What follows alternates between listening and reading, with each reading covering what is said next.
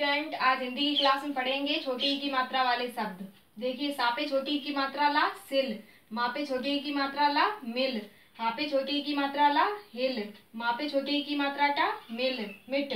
sorry खापे छोटी की मात्रा ला खिल लापे छोटी की मात्रा खा लिख गापे छोटी की मात्रा रा गिर ऐसे ही आपको दिए गए हैं शब्द छोटी की मात्रा वाले ऐसे ही आपको होमवर्क में भी छोटी की मात्रा वाले सात शब्द लिखने हैं